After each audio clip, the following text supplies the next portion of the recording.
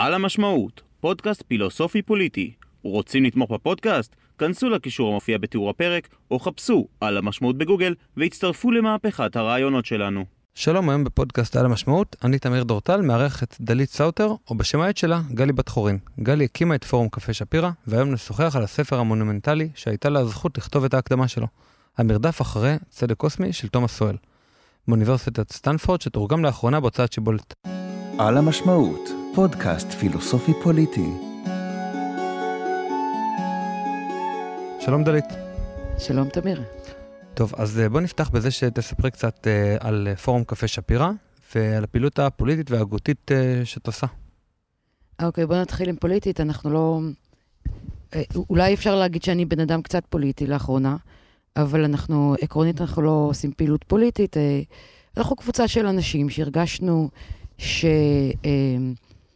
שכמות עצומה של אנשי תקשורת, אנ- אנשים משכילים מאוד, מרצים, הוגים אפילו, אומנים, אה, נדחו לשוליים מכיוון שהם לא היו מספיק שמאלנים במיליה שלהם. אז החלטנו לפתוח בעצמנו את האוניברסיטה שלנו, את הקתדרה שלנו, את המוסף הספרותי שאנחנו הולכים לעשות, אה, וזה פחות או יותר פורום קפה שפירא. פורום קפה שפירא, אני נחשפתי אליו דרך קצת פייסבוק, קצת אה, לעקוב אחרייך. מה אתם עושים חוץ מההרצאות כאן בבית קפה שפירא? זה לא קפה, זה נקרא פורום קפה שפירא, כי נפגשנו בקפה שפירא בפעם הראשונה, שעוד לא ידענו מה אנחנו רוצים לעשות. אבל מה אתם כן עושים? אה, מה שאנחנו עושים כאן זה הרבה מאוד הרצאות, ימי עיון, כנסים, אה, אירועים, גם מסיבות שלנו, של החבר'ה שלנו. אה, אנחנו 8,000, אה, יותר מ-8,000 מנויים בקבוצה הסגורה של הפייסבוק, והם בעצם אלה שמימנו את המקום. זאת אומרת, חברי הפורום, הם אה, התחייבו לשלם בהוראת קבע סכומים אה, קטנים, כאילו הרבה מהם סכומים קטנים, והמקום הוא של כולם. ועכשיו היינו, מחר היינו צריכים לעשות כאן מסיבת פורים, אבל החלטנו לא לעשות אותה משני טעמים. Uh, הקורונה היא הטעם השני, והטעם הראשון זה שבימים האלה, מה שקורה עכשיו uh, סביב המחטף המבהיל מאוד של הציונות uh, בחסות בית המשפט, אז uh, לתחושתי, uh, לחגוג מסיבת פורים זה בבחינת לנרמל את המצב הבלתי נורמלי. זאת אומרת, לדעתי, מרגע זה, אף אחד מאיתנו לא אמור לעשות את הדברים הרגילים שהוא עושה, כי זה רק אה, אה, שולח איזשהו מסר שאפשר לעשות, לעשות לנו הכל כל הזמן, ואנחנו נמשיך כרגיל בחיינו. כשאת מדברת על מכתב של בית משפט, אני מניח שאת מדברת על זה שאישרו את uh, הרשימות הערביות לרוץ לכנסת, וזה שהם נבחרו. ה- זה שהם אישרו את הרשימות, ה, את הרשימות הערביות, כן, אבל אה, אה, כפי שזה נראה לנו, לנו, אני אומרת לי ולאנשים שהם, אנשים שמדברים, שאנחנו מדברים על זה, אז אה, אה, נראה כמו השלמת מהפכה שקטה, שהתחילה בסוף שנות ה... בשנות ה-90, ומסתיימת עכשיו בהצלחה רבה שלאהרון ברק תהיה מפלגה. רצה את הארנ... הוא טען שאין לו, אין לו ארנק ואין לו חרב, יש לו רק את אמון העם. את אמון העם כבר אין לו, אז עכשיו הוא רוצה את הארנק ואת החרב. כלומר, שהם יהיו חלק מהממשלה ויוכלו לקבל החלטות קרדינליות על עתידה של מדינת ישראל. תראה, אני לא רוצה, אני באמת לא רוצה להיכנס לפוליטיקה, כי במקרה הזה זה רק אני, זה לא פורום קפה שפירא. אבל כפי שלי נראה, אה, לא נראה לי שמי שמוביל את כחול לבן אה, זה ההגות, ה- היוזמה והמדיניות והמנהיגות של גנץ. מה שיותר נראה לי זה שמה שמוביל את זה מאחורה, אה, זה אה, אנשים בסביבות אהרון ברק, או אפילו הוא עצמו. אוקיי, האמת היא, מה שמאוד מרשים פה בפורום זה באמת אה, זה שאנשים שמים את הכסף איפה שהלב שלהם. הרבה פעמים, כמו האמת גם ביוזמה של הפודקאסט שלי, זה שאני מוציא הרבה הוצאות בשביל באמת ל- לעשות את מה שאני מאמין בו, אז הכסף שלי נמצא איפה שהלב שלי נמצא. אבל אה, אפילו שאני מבקש מדי פעם תרומות ושאיזו הוראת קבע קטנה, אפילו חמישה שקלים בחודש יכול לעזור. עדיין לא מספיק אנשים אה, בעיניי אה, שנהנים מזה, מעל 42 אלף מאזינים בינתיים, נתנו כסף.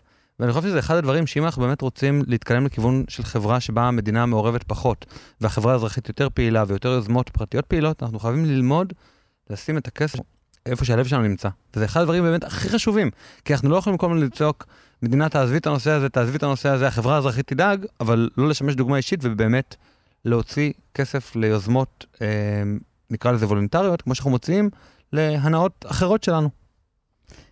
אה, אני לא יודעת, נראה לי שאנחנו מתמודדים כאן עם אה, חברה אזרחית אה, בינלאומית שמובילה פה מהפכים עצומים עם, עם כספים עצומים, כן, רק שזה לא חברה ובשיתוף אזרחית. כספים של המדינה. אה, חברה אזרחית במרכאות כפולות. כן, כי אז, אה, גם ת- מדינות אירופה תורמות. תראה, קשה מאוד, אה, אה, באמת קשה מאוד אה, לבקש מאנשים כסף. יש גם הרבה דברים שצריך להשקיע בהם. אנ- אנחנו, מבחינת ה... אה, מה שאני אקרא לו, לצורך העניין, רק ימין, אה, לא, כמעט לא נהנים מתקציבים, לא של המדינה, ובטח שלא מקרנות, של, לפעילות שאנחנו חושבים שהיא מאוד חשובה, כי אה, מה שפורום קפה שפירא עושה מבחינת השכלה, מבחינת אה, אה, חשיפת ה... ה- ה- ההיסטוריה המודחקת, שהיא בהרבה מאוד פעמים אה, שונה מאוד ממה שלימדו אותנו בבית ספר, והפעילות הזאת מאוד מאוד חשובה, כי אנשים צריכים לדעת את האמת, או לפחות את האמת מהצד השני של הסיפור. זה היה מן הראוי שהמדינה אפילו תממן. האמת היא, לפי דעתי ראוי שהיוזמות האלו יהיו פרטיות ושאנשים ילמדו לממן לבד, אבל אנחנו כאן... אה, לא, אני, אתה יודע מה? בוא אני אגיד לך ככה. אנ- אנחנו לא היינו צריכים לעסוק בפעילות הזאת בכלל. מכיוון שהמדינה לא הייתה צריכה להניח מלכתחילה לגורמים אה, אידיאולוגיים רדיקליים עם אג'נדה מסוימת, לנסח מחדש את ההיסטוריה, את החשיבה ואת הדברים. זאת אומרת. באופן עקרוני המדינה הייתה צריכה ללמד ולחנך בבתי ספר מלכתחילה את, ה... את ההיסטוריה על פי הנרטיב המרכזי של המדינה. ואז באמת לא היה צריך אותנו. אוקיי, אז בעצם מכאן נראה לי כדאי שנעבור לספר של תומאס סואל, המרדף אחרי צדק קוסמי, ובעצם נראה לי שכדאי שנתחיל אה, בהקדמה שלך. בהקדמה את בעצם אה, מביאה את הדוגמה שיש אה, שלושה נערים שרוצים לראות את משחק הכדורגל מעבר לגדר, ויש בתמונה הקלאסית הראשונה את הגבוה עומד על שני, בלו, שני ארגזים. לא, לא, סליחה, בת- בתמונה, זה שתי תפיסות שוויון. נכון. תפיסת שוויון שוויון אחת זה הפורמלית. שכולם עומדים על אותו גובה של כיסא, אבל זה שהוא יותר גבוה, הוא רואה את המשחק. כן, גם המותניים שלו רואות את, ה, את המגרש. כן, הבינוני, רק הראש שלו רואה, והקטן לא רואה כלום. כי נתנו לכולם... את אותו כיסא. אה, אה, ש- ארגז, ארגז וארגז. כן. בתפיסה של הכאילו קפיטליזם, שזה... אה, סליחה, ואז יש צדק חברתי, שזו תפיסה שבה הנמוך ביותר מקבל שני ארגזים, ואז הוא רואה את המשחק כמו שצריך, הבינוני מקבל ארגז אחד, והגבוה לא מקבל שום ארגז, הוא יכול לעמוד על הרצפה, והוא בכלל צריך ארגזים. נכון, וזה זה בעצם ההבדל בין אה, שוויון הזדמנויות. כולם מקבלים את אותה הזדמנות, אז כולם קיבלו את אותו ארג- ארגז. והתפיסה היותר יפה, היותר מורחבת, היותר מתחשבת בצרכי הפרט, היא שכל אחד מקבל כפי יכולתו. ורק צריך את ההמשך, נותן על פי... אה, אה, כל אחד מקבל לפי צרכיו ונותן על פי יכולתו. נכון. אבל את כותבת שיש אפשרות שלישית, והאפשרות השלישית כלל לא עלתה על דעת המאהר. כל הילדים עומדים על כיסאות בגובה שווה, כזה מספיק גם לילד הנמוך ביותר ביניהם. במצב הזה הוא רואה היטב את המשחק, אך יש לצידו ילדים גבוהים שרואים אפילו טוב ממנו. מדוע המאהר לא בחר באפשרות הזו? כי זה בלתי נתפס, כאילו, כי ה- הגישה השוויונית לא רוצה שום צורה של חוסר שוויון. היא, היא, היא מעדיפה שאף ילד לא יראה, מאשר שיהיה ילד אחד שכל הילדים יראו, ו, אה, אבל ילד אחד יהיה גבוה יותר. גבוה יותר במטאפורה, כי זה, במקרה הזה זה לא עוזר לראות, אבל זאת התפיסה המרקסיסטית של השוויון, שמצידה באמת, כאילו, שכול, שכולם ימותו מרעב, ורק שלא, שלא יהיה מצב שבו אה, כול, לכולם יש רווחה, אבל יש אה, פערים בין המעמדות. זו תפיסה שנובעת בין, אה, הרבה מאוד מתוך רגש קנאה שיצא פשוט מכלל, מ- כלומר, לא נעים להגיד שאנחנו מקנאים, אז אומרים בוא נעשה שוויון.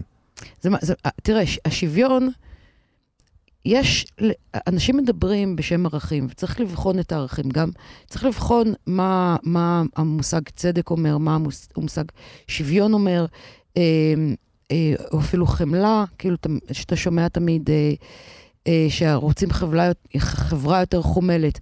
עכשיו, אה, שוויון וקנאה הם בעצם אותם דברים. בוא, בוא, נתחיל, בוא, בוא נתחיל באופן מסודר, מה זה צדק. כן, באמת, יש תפיסה של צדק שנקראת צדק קוסמי, כמו שסול מגדיר אותה, והוא אומר שמצד אחר יש את הצדק, אה, נקרא לזה הרגיל. אוקיי, בוא, בוא נתחיל. אני, אני אספר לך שאני הייתי פה, ב, כאן בפורום, ושרותם סלע התקשר אליי, והוא אומר לי שהוא שאל אותי אם אני רוצה לעשות, לכתוב הקדמה של ספר. אז אה, שאלתי אותו איזה, אז הוא אמר לי, את צדק קוסמי של תומאס סואל. עכשיו, אני בעוונותיי לא שמעתי מימיי על סואל, אבל איך ששמעתי את המונח צדק קוסמי, אמרתי, לקחתי. כי הביטוי הזה הוא, הוא, הוא גאוני. והוא בעצם מסביר הכל. למעשה, אם אתה מבין מה זה צדק קוסמי, אתה לא צריך לקרוא את הספר. אוקיי, אז מה, אז מה זה צדק קוסמי? למה סואל מתכוון? נגיע אחר כך למרדף אחריו, אבל מה זה צדק קוסמי? בוא, בוא, בוא נתחיל לשאול מה זה צדק בכלל. זאת אומרת, יש לנו איזושהי תחושה, איזושהי אינטואיציה כללית, שצדק זה דבר טוב, ושאי צדק זה דבר רע. ואני חושבת שזו תחושה כל כך בסיסית שהיא נולדה שם הרבה לפני שהיינו אנושיים. אתה, אתה יכול לראות אצל אה, שימפנזים, שכשאתה מתנהג, כשאתה מתגמל שימפנזה אחת על אותו דבר ששימפנזה אחר עושה, ואתה מקפח את השימפנזה השני, אז אתה רואה שהוא מתקומם. זאת אומרת... הוא כבר לא יהיה שמח. הוא, הוא מתקומם, הוא, הוא כועס. וכאן אתה רואה שהתפיסה של הצדק היא, היא, היא משהו מאוד עמוק בבסיס שלנו. אה, אנחנו שואפים לצדק, אבל השאלה היא, אה, מהו בדיוק צדק? זאת אומרת, הצדק במובן הבסיסי ביותר שלו הוא הצורך שלנו להחזיר לאיזון איזשהו, איזושהי סיטואציה שנתפסת כלא מאוזנת, כמותה. כמו שהשימפנזה אה, חש באיזושהי צורה שיש כאן משהו מוטה. אה, לכן המושג נקמה הוא מושג מאוד מאוד בסיסי בפילוסופיה של הדוקטרינות הליברליות של הדמוקרטיות החדשות. בכל אה, שלושת ארבעת ההורגים הגדולים, נק, הזכות לנקמה היא זכות בסיסית. את יכולה לתת דוגמה להורגים כן. הגדולים לפי, לפי דעתך? אה, לוק, רוסו והובס, שלושתם קבעו את, הבסיס, את הזכות הבסיסית של האדם. זה אה, פחות או יותר בערך אותו דבר, אז יש לנו הזכות לקניין, הזכות לגופו והזכות לנקמה. כשהזכות לנקמה מומרת על ידי המדינה, זאת אומרת, אני ואתה וכולנו מחליטים שאנחנו מפקיעים את הזכות הפרטית שלנו לנקמה, ואנחנו מעניקים למדינה את ההזדמנות לנקום בשבילנו. זה מערכת החוק עם מערכת הענישה. כן, האמת היא שלקח למושגים האלה הרבה מאוד זמן להשתרש גם בתרבות. אנחנו יודעים שעדיין, גם אחרי שהם כתבו את הספרים הנפלאים שלהם, עדיין אנשים אה, נהרגו כתוצאה מדו-קרב. אפילו אחד הפילוסופים הפוליטיים הכי דגולים אי פעם, אה, המיל, אלכסנדר המילטון, אה, שהיה שר האוצר הראשון של ארה"ב, בעצם נהרג בדו-קרב בעקבות זה שסגן הנשיא הזמין אותו לדו-קרב על זה שהוא פגע בכבוד שלו. ואנחנו רואים שהוא באמת נהרג על, על כבוד, שזה מאוד מעניין. כן, כשאתה אומר נהרג על כבוד, יש כל ה... אוקיי, אני מאוד פיטרסונית. בכל התפיסה שלי. לכן, אני מלכתחילה אה, מניחה שלכל דבר יש ערך אבולוציוני. אני מניחה שאין אין, אין, אה, אין, אין לנו רגשות מיותרים, או אין לנו התנהגויות מיותרות.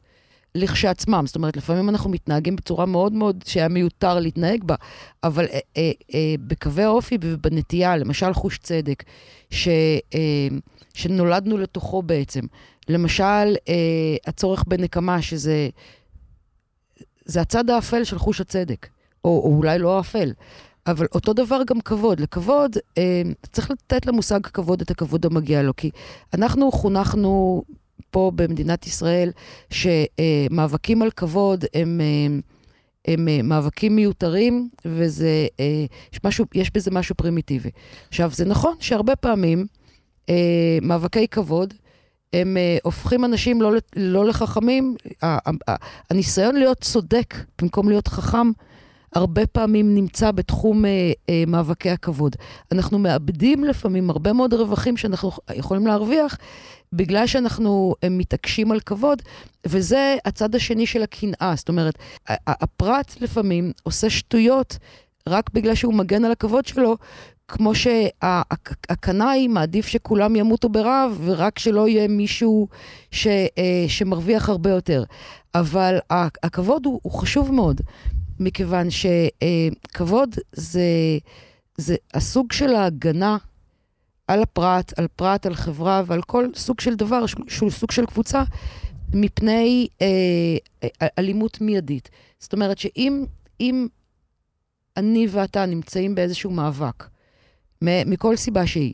ואני מצליחה לעשות עליך רושם שאני אשמור על הכבוד שלי גם uh, אם אני אמות, או גם אם אני אהרוג אותך, אז יכול להיות שאתה תיסוג ואני אסוג. יכול להיות שאני מראש לא אפגע לך בכבוד. זה uh, uh, uh, כבודך נפגע. וזה קיים גם בטבע, ופיטרסון uh, מראה את זה עם הלובסטרים. זאת אומרת, הוא מראה שאפילו יצורים באמת פרימיטיביים של לפני 250 מיליון שנה, כשהם אה, אה, מבצעים קרב על, אה, על טריטוריה, שטריטוריה זה דבר מאוד חשוב, אז הם לא ישר הולכים לקרוע אחד לשני את, ה, את הצורה. הם אה, אה, קודם כל אה, אה, מקיימים מחול, מחול שבו הם משפריצים אחד על השני ומעליבים אחד את השני, ומקללים בלובסטרית, כאילו זה האקוויוולנט של הקללה.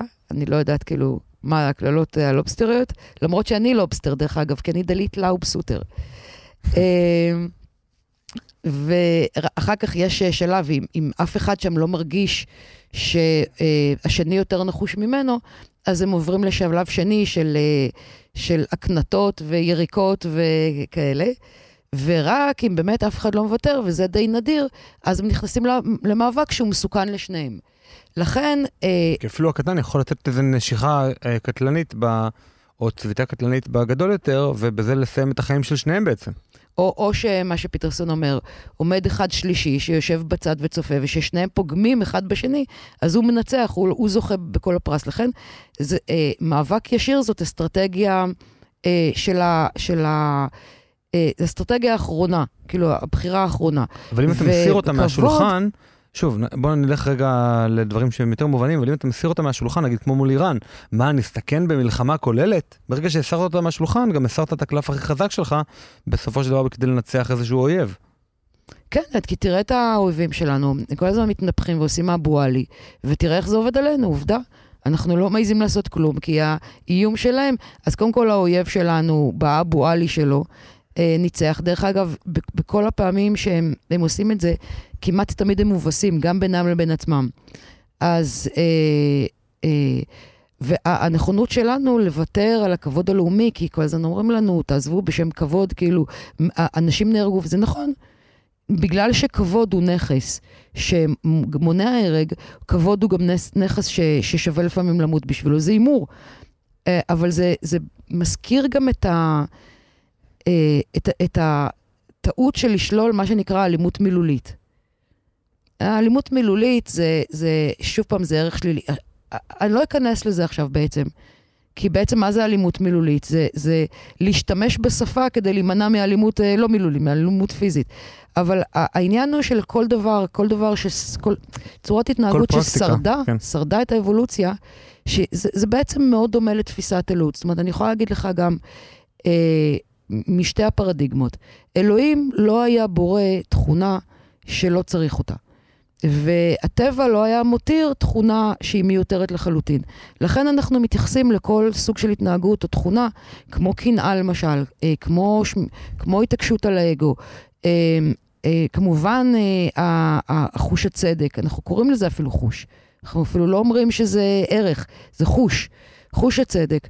הם, הם דברים שהם כלים, שמן הסתם הם, הם הם אה, שרתו אותנו, אחרת הם לא היו, הם ממשיכים, כי, כי מי שנשא אותם לא היה מתפתח באבולוציה. באמת, רק, רק כדי לסגור את הנושא הזה של ה, בעצם של הנקמה, אני חושב שכל אחד מאיתנו שהיה פעם ילד, וזה בעצם כולנו, יודע שאם אתה ילד כאפות בגן, זה מאוד מסוכן לך. נכון. כלומר, זה דבר שבאמת עלול לפגוע לך בכל המבנה הנפשי, אם אתה לא יודע להחזיר, וכשלי יש עכשיו ילד ואני חושב איך לחנך אותו, האם להגיד לו להחזיר, לא להחזיר, לעמוד על שלו, לא לעמוד על שלו, אז כמובן שאני רוצה שהוא יעמוד על שלו, כמובן שאני רוצה שהוא אה, יחזיר, לא בצורה חריפה מדי מדי מדי, שאחר כך לא יהיו לו חברים, כי כולם יגידו מה זה הילד הזה שעושה כאלה דברים, אבל לפחות שידע שאם מישהו עושה מעשה לא צודק, אז שהוא לא מושיט את הלחי השנייה. זאת אסטרטגיה אז, אז שתגרום זה, לו ל, ל, להרבה מאוד נזקים נפשיים, וגם לא יהיו חברים שלו, כי אם אתה יודע ש, שיש מישהו שאין לו כבוד, שאין לו עמידה, שאין לו חוט שדרה, אפילו אם הוא ילד בן ארבע, עדיין זה מאוד מסוכן בשבילו שאין לו חוט שדרה מול חברים. אף אחד לא ירצה להיות חבר שלו. אבל מה אם uh, הגננת תדאג לזה שכל ילד יקבל את הכבוד המגיע לו, לא, לא משנה מהו, והגננת תדאג שהגן יהיה כל כך... Uh, מכיל ומקבל. מכיל ומקבל, ותחנך את כל הילדים להכיל ולקבל uh, כל צורה של התנהגות. למ, למה, ש, למה שלא תהיה חברה כזאת? לא יותר טוב? הלוואי שזה היה אפשרי, האמת היא שזה נשמע מאוד נחמד, ואם זה היה אפשרי, יכול להיות שבאמת לא הייתי אומר לילד שלי להחזיר. אבל שוב, אני לא אומר לילד, אני לא, אני לא לא אומר? לילד שלי, למה שלא לך תפעל- ותרביץ. אני אומר לו, תהיה חבר של החבר'ה, שאתה מקבל ממתק, תחלוק עם החברים. אני גם, אני גם מלמד אותו ומתרגל אותו בבית, שכשאני נותן לו במבה, אז אני מבקש ממנו לא לתת במבה לעוד אה, חברים, לאבא, לאימא, לא לשמור את כל הבמבה לעצמו. אבל אם מישהו ייקח לך, כן, אני רוצה שזה יהיה ברור שאף אחד לא לוקח בלי לבקש רשות. אתה תיתן אם יבקשו. ואז הם ייקחו בלי לתת רשות, אז מה? אז, מה אז? תחזיר לעצמך את הנכס שלך, תחזיר לעצמך את הבמבה. אל הבא- תצא פראייר. אל תצא פראייר. מצד שני, הוא יראה את אבא שלו יוצא פראייר בהרבה מקומות בחיים, שעושה אבל דברים אולי- שהוא מאמין בהם. אבל, אבל- אולי משהו בחברה שלנו, הקפיטליסטית, הלאומית, היא כל כך מקולקלת, שבכלל אה, יש את המושג הזה לצאת פראייר.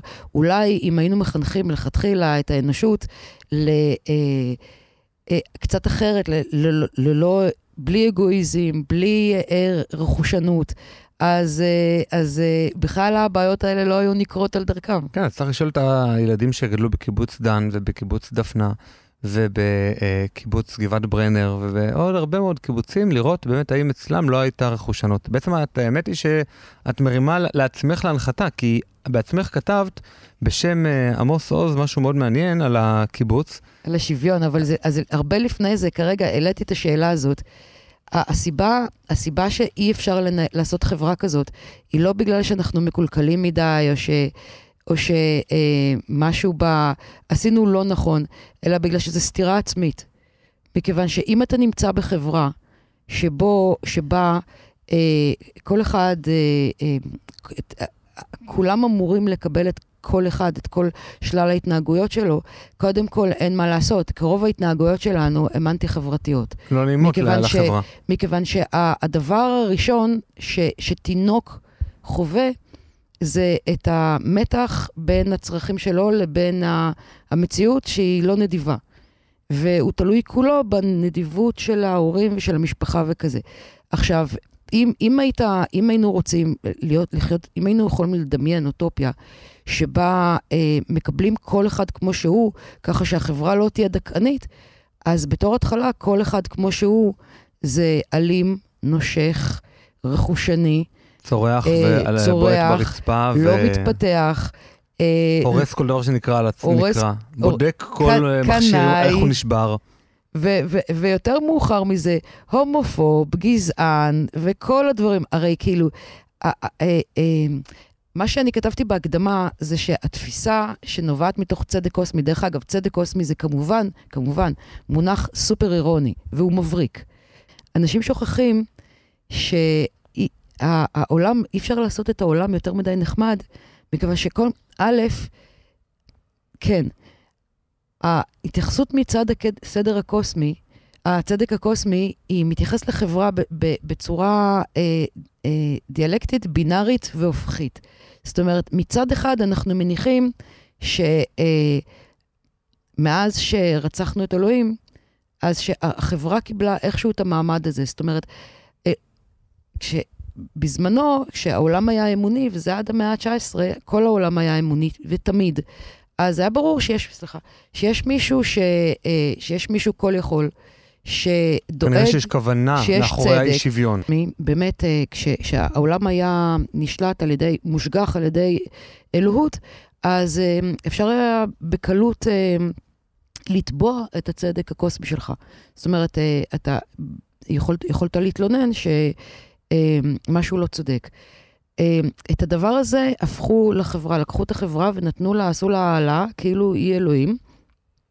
ומרגע זה אה, יש מין איזושהי ציפייה שכל חוסר צדק, כל חוס, כל אי נוחות, כל פעם שרגשות של ילד נפגעים, אז אה, יש איזושהי בעיה אימננטית בתוך, בחברה המסוימת. כלומר שהחברה בעצם היא זאת שמשגיחה, ואם יש איזושהי בעיה, זאת אשמת החברה. נכון, כשם שזה היה פעם אשמת אלוהים, עכשיו זאת אשמת החברה.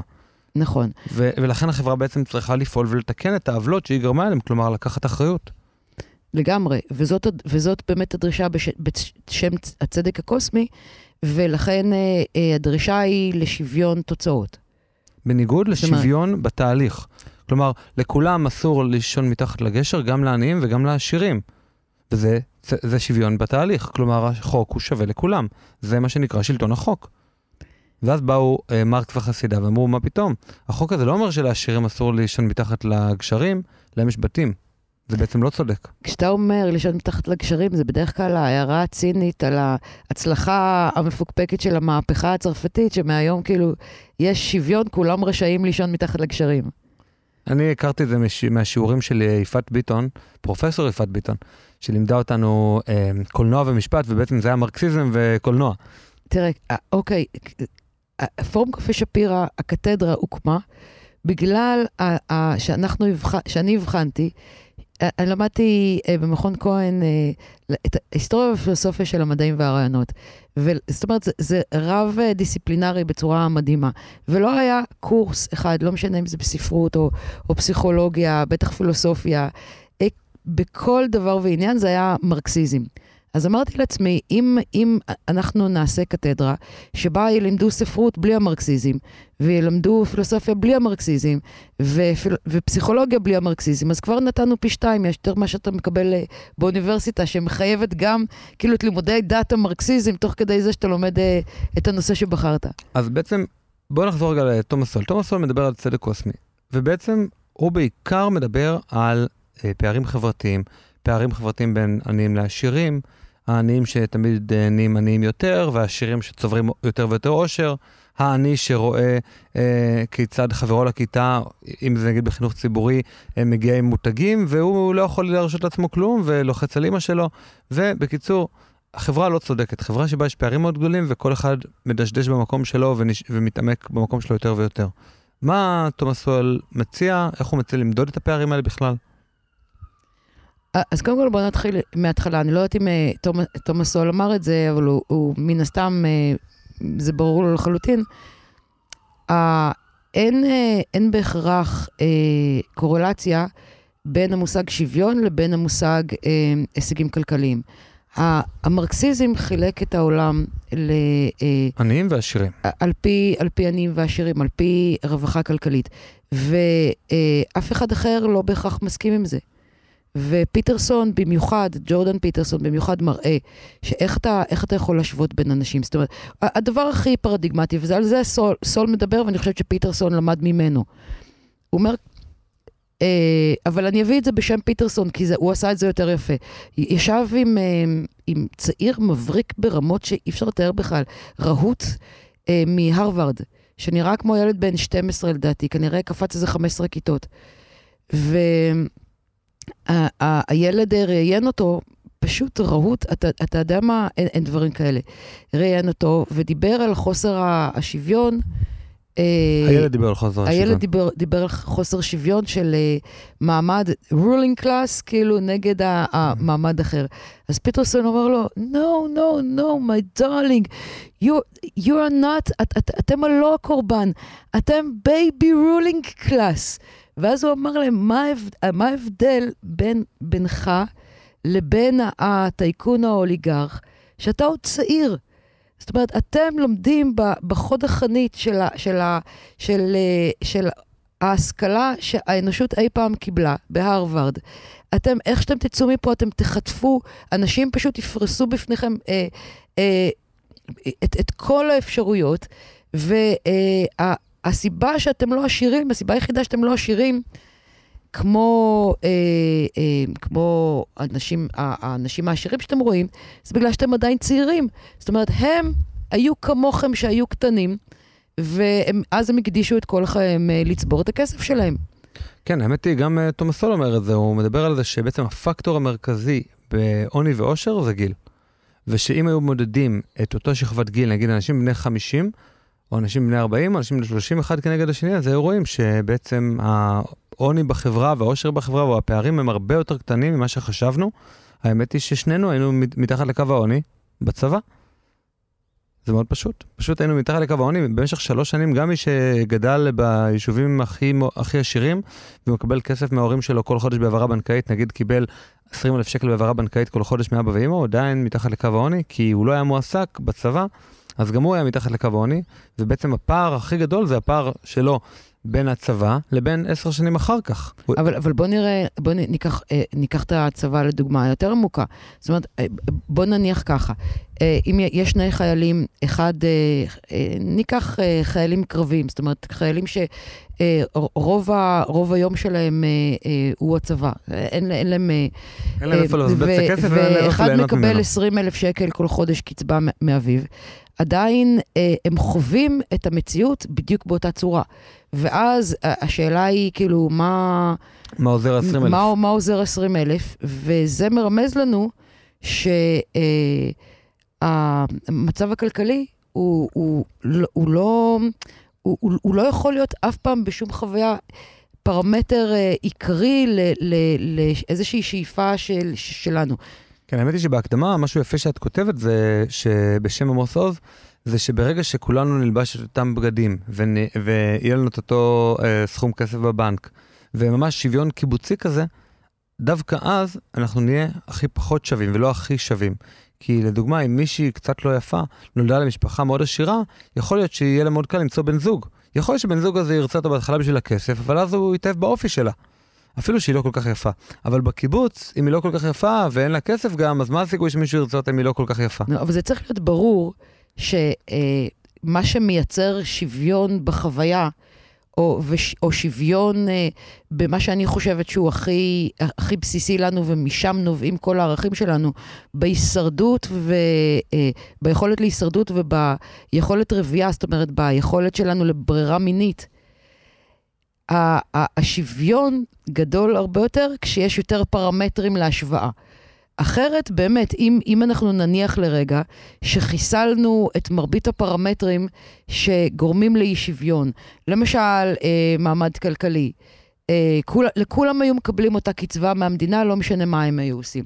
לכן, לכן גם כישרון, כישרון כבר לא היה אה, אה, פרמטר, כי זה לא משנה, אה, כישרון מסוים, לדבר מסוים, נועד להשגת מטרה מסוימת. המטרה היא בדרך כלל אה, אה, מתוגמלת כלכלית, כי זאת הדרך הכי טובה. עכשיו, אם, אה, אם אתה בחור, אתה בשידוך, והיכולת התפרנסות שלך היא לא רלוונטית כרגע, כי כולם מתפרנסים אותו דבר.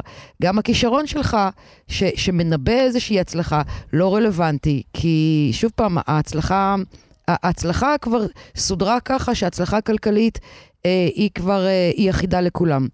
אה, אז כל מה שנשאר זה פרמטרים שבאמת אין לנו שום שליטה עליהם. זה הגובה שלך, זה כמה אתה אטרקטיבי חיצונית, ו, ואז אפשר ממש לסדר את כל בני האדם.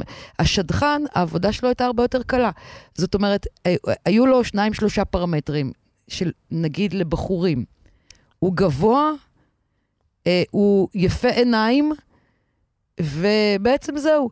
ואז היה אפשר לסדר היררכיה מוחלטת של כל הבחורים. יש לך 100 לקוחות, יש לך בדיוק, אתה יודע מי זה איך, ה, ה, ה, הכי גבוה עם העיניים הכי יפות, ועד עד, עד, עד, אה, אפס. זאת אומרת, מ-100 עד, עד למטה. כן, האמת היא שזה גם מזכיר כל הקטע הזה שהיום מחייבים את כולם ללמוד בבית ספר עיוני ואין יותר בית ספר מקצועי, בעצם אומרים, כולם יכולים להצליח בעיוני.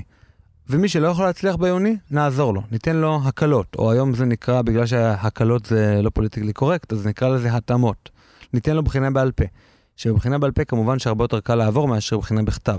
ואז בעצם אתה לקחת ממנו את מה שיכול להיות הכישרון שלו, שזה בעצם אולי העבודה עם הידיים, או לתת שירות טוב, או להיות מסביר פנים, ואתה הפכת אותו למישהו שחייב להצליח בפרמטר העיוני. שאתה החלטת, כן, אתה החלטת שזה טוב. עכשיו, עכשיו, כי, תראה, כי אחרת זה הסללה. אבל תראה כמה זה מסתבך, תראה כמה זה מסתבך. כי צדק קוסמי לא מדבר בעצם, צדק קוסמי אה, שתובע מהחברה להיות כמו אלוהים, זאת אומרת, אה, לגרום לכל אחד להגיע לאותן מטרות, לאותן תוצאות, הוא שוכח שקיימת מטרה, לחלוטין. ומפה נובעות אה, כל הסתירות והסטיות שרק יכולות להיות, כל הס... באמת סתירות לוגיות. כי אה, נתחיל עם זה ש... אה, למה, למה מלכתחילה העיוני נחשב יותר ממקצועי? כי כשמסתכלים במבחן התוצאה במשך שנים, אז נראה כאילו ההצלחה הכלכלית באה, אה, אה, פגשה את אלה של, שלמדו עיונים, משום מה הלימודים העיוניים פותחים יותר את ה... יותר דלתות, לעומת אני למשל, שלמדתי, בחרתי ללמוד אה, אה, גרפיקה בתיכון מקצועי, אז, אז לכאורה, זהו, בכאן אה, נסתם הגולה על, על, על העתיד שלי. אני אמנם רכשתי מקצוע, אבל פה הסתיימה ההתפתחות שלי. עכשיו, יש בזה, יש בזה משהו, אבל אה, אה, קודם כל, בוודאי ש... שאי אפשר להסליל את כולם דווקא למשהו שאתה או מישהו אחר החליט שהוא טוב. והחטא השני הוא ששוכחים אז את התוצאה. זאת אומרת, בעצם מה שהם אומרים זה אה, שהחברה מתגמלת את מי שהם מוצאים בו ערך. הם מוצאים בו ערך אה, אנשים שיודעים לחשוב, אנשים שיודעים לדבר, אנשים שיודעים לפתור בעיות, ולא אנשים שיודעים רק להיות טכנאים, זאת אומרת, הם כבולים לאיזשהי סוג של מערכת, ובזה נגמר העניין. עכשיו, למה החברה מתגמלת אותם? וזאת השאלה הגדולה. אה, אפשר לטעון שזאת הפטריארכיה, שמכיוון שמקצועות, אה, שמקצועות מסוימים אה, מתאימים לי יותר לגברים, אז, אז הגברים יתאחדו יחד כדי כן. לנשל את הנשים, או לנשל את, לנשל את הפריפריה, או לנשל כל מיני כאלה. אבל מה, מה כמובן הטמטום המרקסיסטי הרגיל, שמנסה לכפות את, ה, את החלוקה הבינארית שלו ל, ל, לשולטים ונשלטים. וטובים ורעים גם בהתאם. מדכאים ומדוכאים. באופן בינארי. אבל אז אתה, אתה לפחות רואה שבדרישה ללימודים עיוניים, הטוענים בשם האידיאולוגיה עוד מבינים שלפעולות מסוימת, מסוימות יש ערך מסוים, ולפעולות אחרות יש ערך פחות. זאת אומרת, כאילו שהחברה, חשוב לה יותר שיהיה אה, איש הייטק שיפתח אה, משהו, אה, משהו חדש, מאשר טכנאי שיטפל במכונה שלו. אבל אז הם שוכחים גם את כל העניין הזה, שתגמול אה, של הפרט, של איש ההייטק, הוא קשור באיזושהי צורה במשהו שהחברה חושבת שזה משרת אותה כערך, ו, אה, ו, ואז הם בעצם מדברים בשם ה...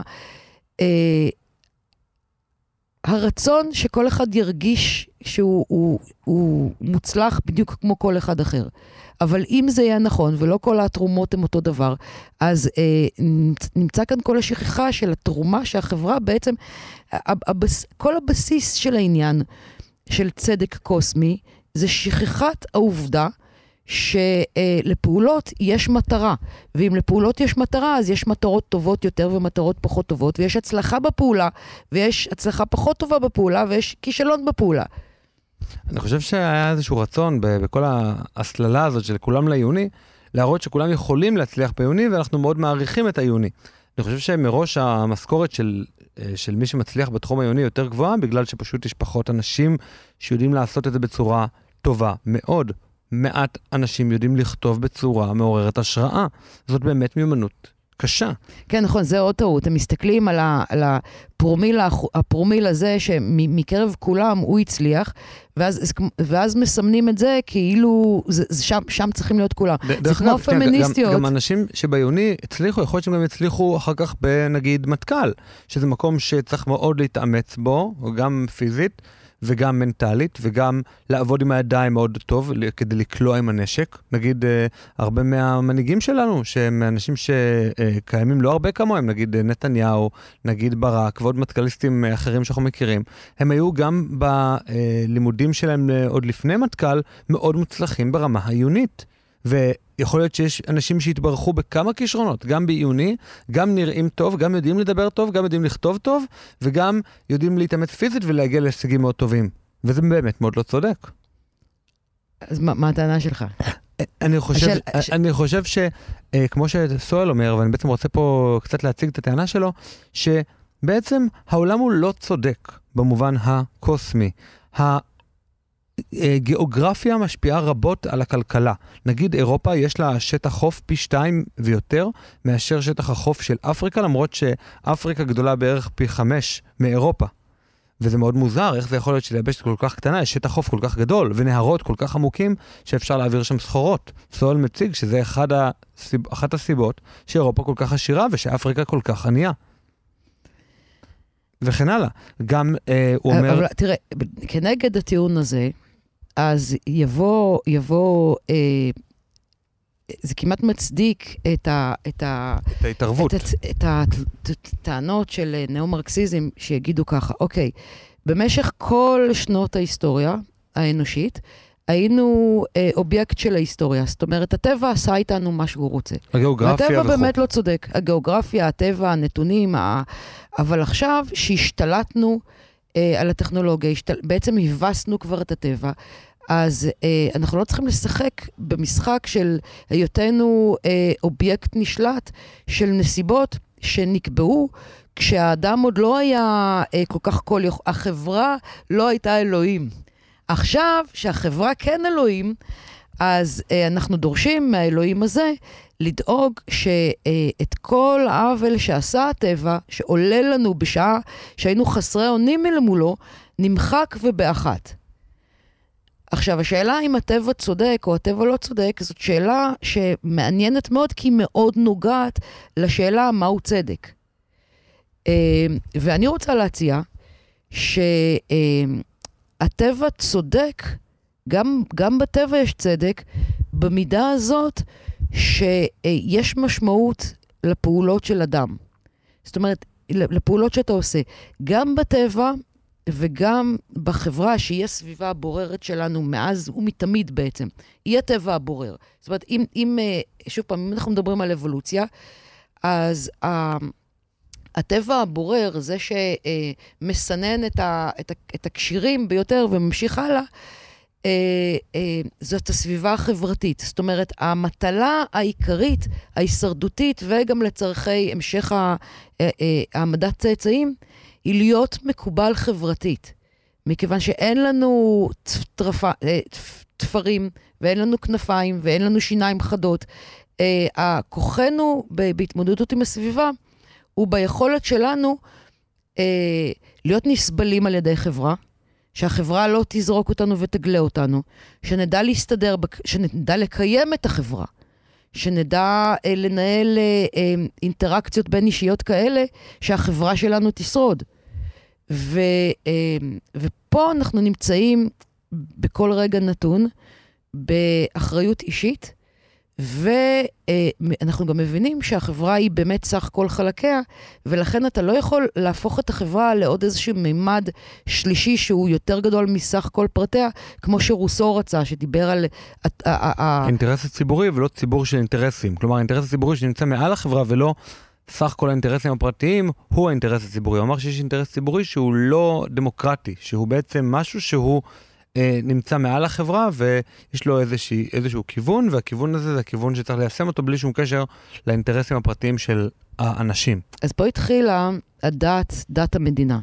זאת אומרת, אה, רוס, רוסו, רוסו כבר היה בתקופה שהעולם אה, התחיל לעבור מאמוני ל, ל, למודרני, ורוסו הבין ש...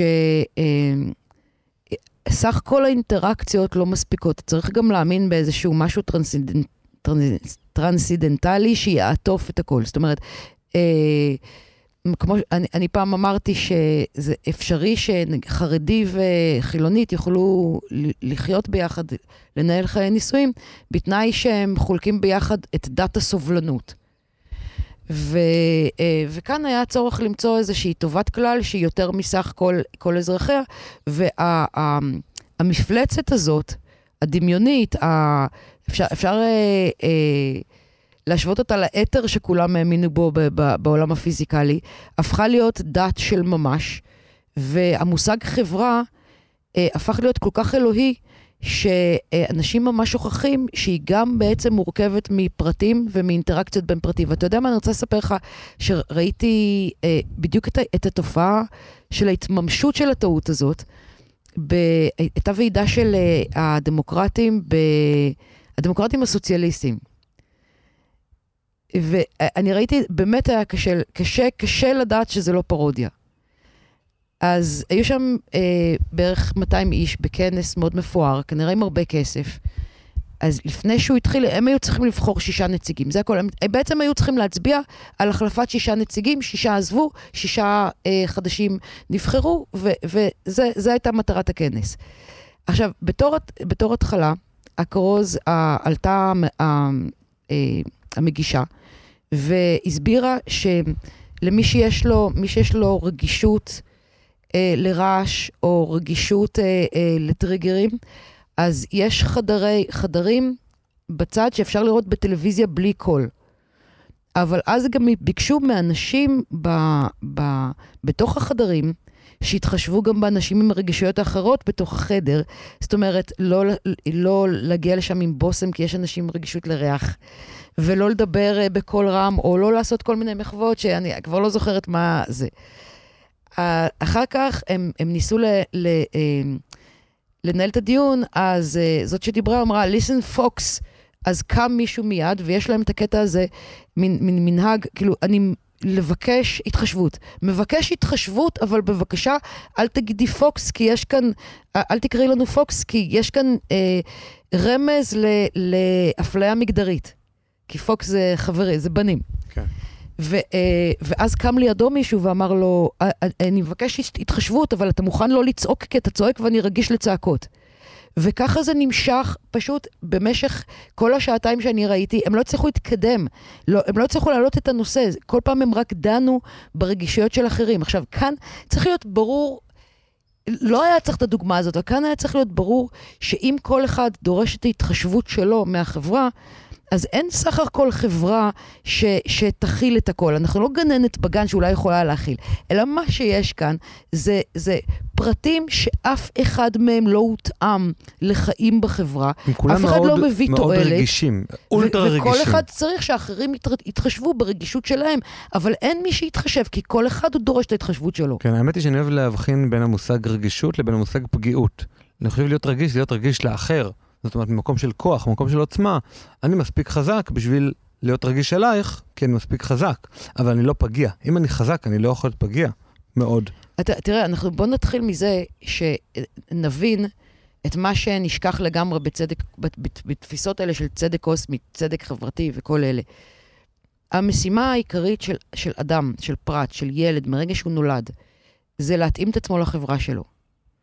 לחברה, ש... זה, זה באמת המשימה העיקרית. עכשיו, ברגע שאתה רוצה לבטל את זה, אז אה, כל המונחים, אה, אה, אין, אין, אין כבר, אין לך מונחים לדבר את, אה, כאילו, המונחים של הצדק, המונחים של השוויון, המונחים של הערך, הם חסרי כל ערך. מכיוון שלפי מה נמדד הערך? הערך נמדד לפי מה, מה טוב ורצוי לחברה. ההתנהגות מנומסת. או אה, תרומה, או תרומה, כשאנחנו אומרים תרומה לחברה, אנחנו מתכוונים תרומה לחברה.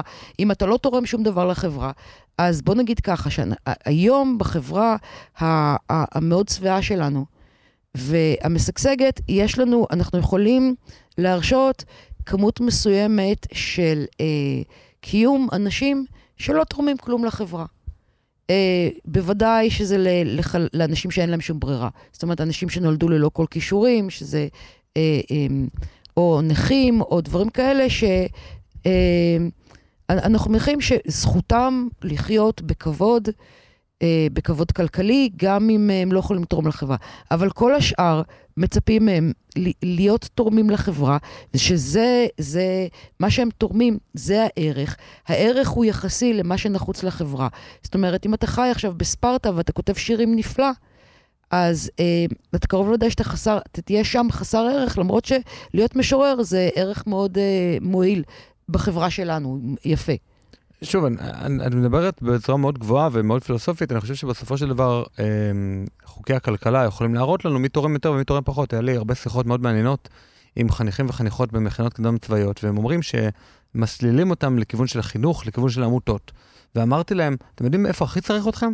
אם באמת יש לכם את הכישורים, צריך אתכם מאוד בהייטק. איך אני יודע את זה?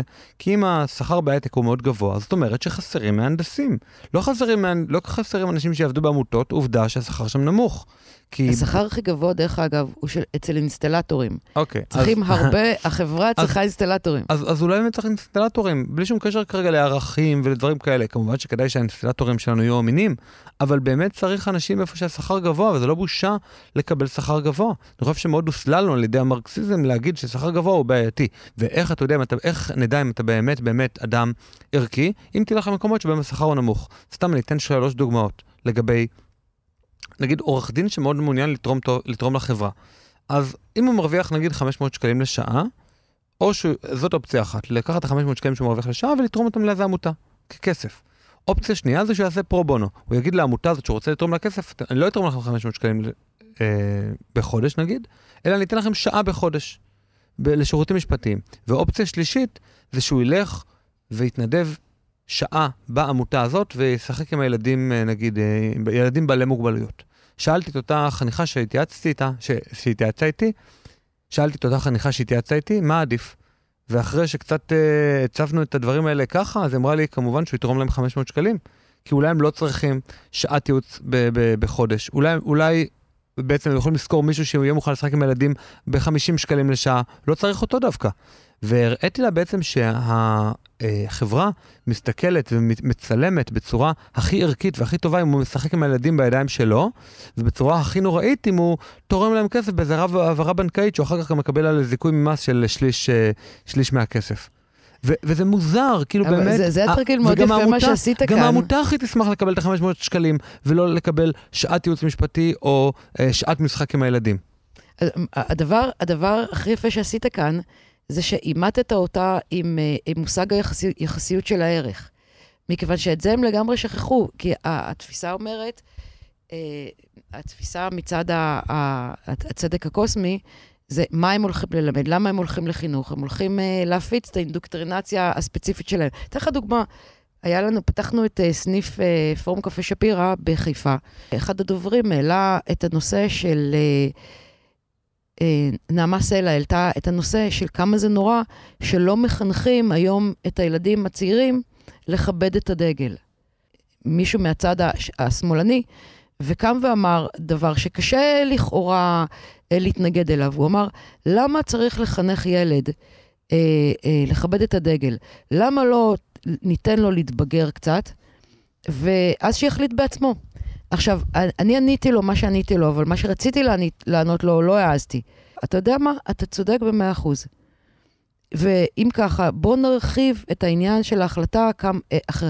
אם הוא עכשיו הומופוב, אז בואו לא נגיד לו כלום על זה שהוא הומופוב. אם הוא גזען, בואו נחכה לראות מה הוא רוצה להיות. אם הוא רוצה להיות גזען או הומופוב, הוא לא רוצה להיות, וניתן לו להחליט. או למה שנבחר בשבילו את השם, שהוא יבחר את השם בשביל עצמו, או למה שנבחר בשבילו באיזה תרבות להתחנך, הוא יבחר באיזה תרבות להתחנך. נחנך אותו למין תרבות אוניברסלית כללית כזאת, למרות ש... אופס, אין כזאת. אבל בואו רגע נחזור לסואל ולפערים החברתיים. הוא אומר עוד משהו מאוד מעניין, ונראה לי שהרבה אנשים לא יודעים אותו, חוץ ממי שקרא את הספר, שלבחורים יש סיכוי מעל כפול להגיע למעמד כלכלי גבוה, להגיע לעמדת מנכ"לות, לדוקטורט, בהשוואה אפילו לאחים שלהם. זאת אומרת, שגם אם אתה גדל באותם תנאים בדיוק, בדיוק, בדיוק, כמו אה, האחים שלך, ואתה אפילו בתור בכור, הרבה פעמים אה, בכורים גם צריכים לפלס את דרכם בתוך המשפחה, צריכים להשיג את האישור מאבא ואמא, אה, נגיד שיממנו להם את הרישיון נהיגה. לאחים הקטנים, ברור, אם אה, מימנתם לבכור, ברור שאתם מממנים גם לנו. זאת אומרת, לבכור יש חיים יותר קשים, והוא מגיע למעמד כלכלי פי שתיים בסיכוי יותר גבוה מאשר האחים שלו. וזה משהו מאוד מוזר, משהו שכאילו, אתה אומר, הנה, הבאנו להם בדיוק את אותם תנאים, זה- וזה לא עובד. זה לא מוזר, זה, זה, זה לא מוזר אם מבינים שכל התפיסה הזאת היא, היא, היא חסרת כל בסיס, כל, כל תפיסה של השוויון, הצדק הקוסמי והשוויון. אין, אין שום דרך בת- בתכלס. בוא, בוא, נאמר- בוא נאמר את זה בצורה הכי גלויה. אין שום דרך בעולם להשוות בין שני אנשים. אתה גם בטענה של הפמיניסטיות, שטוענות שהן מרוויחות פחות, קודם כל זה אווילי.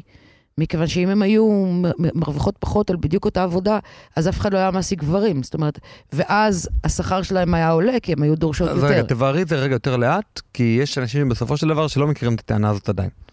נניח שגבר ואישה נותנים את אותה תפוקה, הגבר מבקש 50 שקלים לשעה, והאישה מבקשת 40 שקלים לשעה. בעצם המעסיק, הכי טוב לו, הכי כדאי לו, לקחת את האישה, לשלם לה 40 שקלים לשעה, ולשחק אותה. דרך אגב, זה, זה היה נכון עד, עד הפמיניסטיות, מכיוון שהם סיבכו את העניין. למה? הם, נו- אה, הם הפכו משהו שהוא, שהוא בהרבה מאוד, בהרבה מאוד מאוד מקרים סובייקטיבי, לחל, סובייקטיבי לחלוטין ל, אה, לעבירה, שזה הטרדה מינית. עכשיו, את ההטרדה המינית הם הפכו אה, להאשמה סובייקטיבית. זאת אומרת, מספיק שאני אטען שאני חוויתי שאתה הטרדת אותי מינית, שאני אוכל להתלונן עליך וזה יעשה לך בעיות. הלאה. עכשיו, אה, בתור רגע, אבל התחלה... איך זה קשור לכלכלה? אני אסביר לך. בתור התחלה, כרגע, בתור אה, שכירה שלך, יש לי עמדת סחיטה, אני יכולה לסחוט אותך. אני יכולה להגיד לך, תשמע, תמיר, אה, אם אתה לא תעלה לי את השכר פי שניים מהגבר הזה שעובד איתנו, אני, אה, אני, אני אגיד, אני אפנה ל, לרשויות, ואני אגיד שאתה מסתכל עליי באופן כזה שיש לי הרגשה שאתה אה, אה, הופך אותי לאובייקט מיני, אתה מחפצן אותי. ואז כאילו נברר את כל הדברים. הלאה. לכן גברים, אה, גברים, אם יש להם שכל, אם יש להם קצת שכל, היום לא יעסיקו נשים. לכן, אה, ל, ל, מכיוון שאישה שת, שתבלה את ה... תבלה אה, את התהליך חיפוש עבודה פי שניים יותר מכל גבר, תוריד את המחיר, וזה מה שיקרה, וזה מה שקורה עכשיו, וזה מה שאני מציעה לעשות לגברים, אה, אה, לגברים מעסיקים עכשיו, אל תסתבכו עם נשים, אל תעסיקו אותם. זה האמת היא, מסוכן. אני, אני מכיר אישית כמה פוליטיקאים שחיפשו עוזר, עוזרת, פרלמנטרית וכאלה, והצעתי להם נשים מקסימות שיכולות לעבוד, ואמרו לי, תשמע, לא. פשוט לא, לא מוכן להסתבך, לא מוכן, זה, אפילו שאתה מכיר אותם אישית, בתור חבר'ה מניות, חבל על הזמן, כאלה שלעולם לא יגישו תלונה, לעולם לא פה, אני פשוט לא מוכן לקחת את הסיכון. אפילו אם היא לא שתולה. וזה, וזה רק השלב הראשון. השלב הבא הוא שהפמיניסטיות שנחושות מאוד להגן על נשים מאפליה, תחוקקנה חוק, וחוקקו כבר, שמחייב אותך במשרדים מסוימים, במקומות מסוימים, לדברסיטי. זאת אומרת, אתה חייב להעסיק אה, כמות מספקת של נשים. ואז מה שסואל אומר, במקרה, מה, מה קורה במקרה הזה? נניח שאתה חייב, אתה, אתה, אתה אה, בעל אה, חברת תעופה, ואתה חייב להעסיק לפחות אה, 30 אחוז טייסות. עכשיו, מה קורה ל, ל, לנוסעים שלך שרואים שיש טייסת ויודעים שקיים החוק הזה? זאת אומרת, הם אומרים לעצמם, אימא'לה, האישה הזאת, היא לא נבחרה בגלל שהיא עברה את המבחנים בצורה הטובה ביותר. יכול מאוד להיות שאף אישה לא הצליחה לעבור את הסף, וזאת האישה שהכי פחות נכשלה במבחנים, ולכן היא זכתה להטיס את המטוס שלנו. ומי רוצה לעלות על המטוס הזה בכלל? כלומר, זה גורם לזה עכשיו- שגם עכשיו- אישה מאוד מוכשרת כן. בטסי מטוסים, האמת היא, סולמי השתמש, אני חושב, בדוגמת המנתחים, מנתחים שחורים, שמנתח שחור סיים את אה, בבית ספר לרפואה בהרווארד, אז יבוא המנותח ויגיד, אני לא מוכן להיות המנותח שלך, אני רוצה ובצדק. לקחת למישהו לבן. ובצדק, ואז כאן מתחילה הגזענות. אולי אתה נכנסת באפליה מתקנת, אבל, אבל אם לא הייתה אפליה מתקנת, אז מה היה אומר אותו מנותח? היה אומר, מה אכפת לי? סיימת הרווארד, סיימת הרווארד, אני לא מסתכל על הצבע שלך, אני עיוור לצבעים. אה, זה בדיוק העניין. עכשיו, אה, זה נכון, תראה, אי אפשר להתעלם מזה לגמרי, שלאנשים שנולדים במקומות מסוימים, למשפחות מסוימות, יש יתרונות מסוימים, או אבל... אפילו בחורים. אבל אף אחד, כאילו. אי אפשר לקחת, אה, או בחורים, נכון, אבל אי אפשר לקחת פרמטר אחד של הצלחה כלכלית מסוימת עם מעמד מסוים, ולהפוך אותו לסך כל הדברים הרצויים לבני אדם. כי אתה יכול, כי גם כן פיטרסון אומר את זה מאוד יפה. אתה, יש לך כוכב רוק, אה, ויש לו את כל הכסף שבעולם, אבל הוא אלכוהוליסט. ואשתו, אשתו הרביעית עזבה אותו כי היא לא יכולה לסבול אותו. אז יש לו בעיות אחרות. לעומת זאת, יש הרבה אנשים מאוד מאוד פשוטים, שהלב שלהם פשוטים מבחינת המעמד, ונגיד מבחינת ההישגים הכלכליים היוצאים דופן, אבל הם חיים חיים מאוזנים. והם מאושרים וטוב להם, עד שבאים המרקסיסטים ואלה, הם אומרים לכם, אתם חשבתם שטוב לכם, יש לכם תודעה כוזבת, בואו אנחנו נסביר לכם שאתם מקופחים. עכשיו, אני רוצה להגיד משהו על המילה מקופחים. קיפוח זה חלק מהרגשות שהם אובססיביים. זאת אומרת, ברגע שאני מקנה לך תודעת קיפוח, אתה כבר תראה את העולם תמיד כמקפח אותך ותפרש הכל כקיפוח, ואין לזה, לזה תקנה, אתה אבוד, כאילו, אתה, אתה, אתה תהיה אומלל כל החיים. ואתה גם, אם מאוד לא נעים להיות בסביבתך. האמת היא, אחד הדברים היפים שהרבה מחסידי הצדק הקוסמי וגם אה, סול אה, עוסק בהם, זה עניין החינוך. בעצם אה, יש לכולנו רצון בחינוך שכולם יקבלו הזדמנות שווה, וגם תלמידי החינוך המיוחד. ולאחרונה גם בישראל היה רצון מאוד גדול לשלב אותם בתוך, ה, בעצם בתוך כיתה רגילה.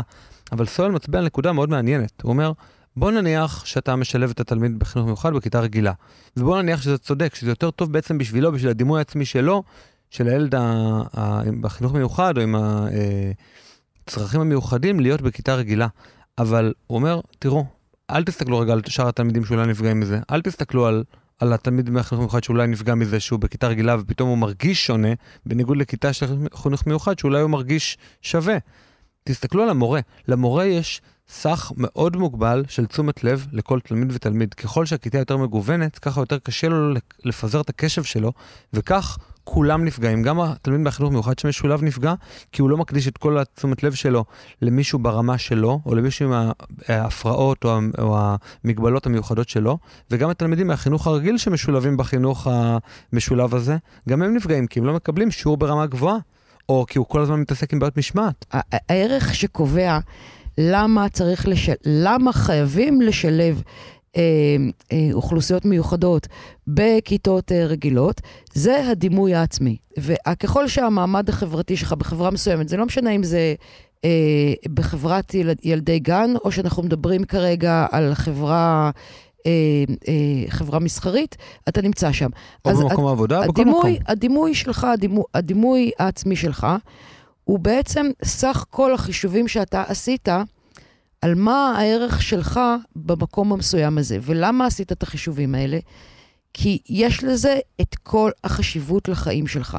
זאת אומרת שאם אתה נמצא בחברה ואתה מקובל, זה אומר שאתה עושה את הדברים הנכונים שהם הדברים המקובלים על החברה הזאת, שזה מנבא בשבילך את ההצלחה בחברה הזאת שתתגמל אותך בעתיד, וזה גם מנבא את הסיכוי שלך אה, למצוא בת זוג הולמת, או בן זוג הולם, שישרתו, ש, שישרתו את, ה, את הדימוי העצמי שלך. כלומר, מה, נגיד לא, שאתה תלך ש... למישהו, נגיד שאני גבר עם דימוי עצמי מאוד מאוד מאוד גבוה, אבל בפועל אני לא כנראה אטרקטיבי מדי, ואני אלך כל הזמן ונסה לצאת עם דוגמניות על והם ידחו אותי, אני אקבל כל הזמן תחושת דחייה. כן, כי מה שעשית כאן, אם, אם, אתה, אם מישהו מצפה שהחברה עצמה...